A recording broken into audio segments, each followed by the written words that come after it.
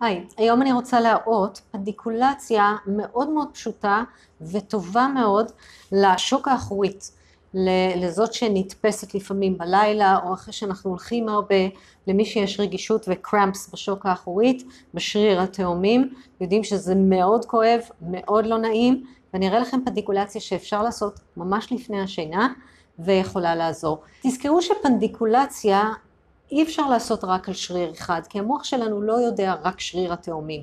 זה תמיד מחובר דרך מערכת העצבים לתבנית תנועה מלאה ופונקציונלית.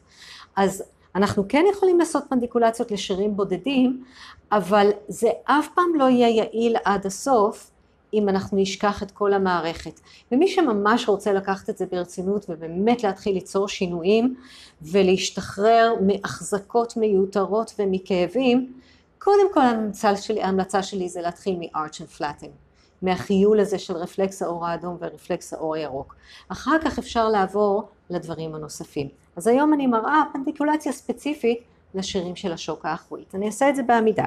אני הולכת להתייחס לרגל הימנית, ואני אקח אותה צעד אחורה משמאל. ברגע שאני אנעץ את הבעונות פנימה וארים את העקב, כבר יש לי גיוס בשריר הזה של, של השוק. שאולי אפשר לראות אותו אפילו מתגייס.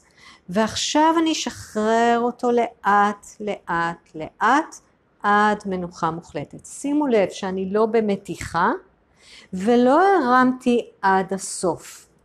כי הרבה פעמים כשאנחנו מרימים עד הסוף, אם יש שם רגישות, אם השריר כבר מכווץ, עד הסוף הוא זה שיגרום לעווית השריר.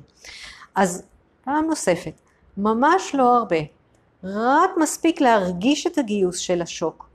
ועכשיו לשחרר אותו לאט לאט לאט ולעצור, עם העקב כמעט עד הסוף.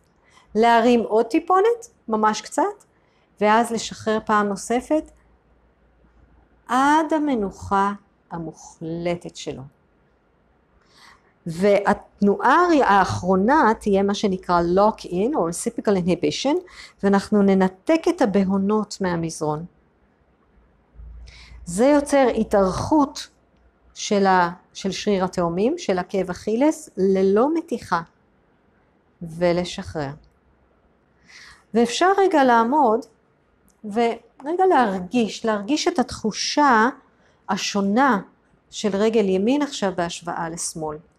בהנחה שלא עשיתם את זה כמתיחה, אלא כפנדיקולציה, אתם תרגישו שהשריר כמו מרווח יותר, אולי מרגיש ארוך יותר, פתוח יותר, בוודאי נעים יותר. וכמובן, תעשו את זה לרגל השנייה.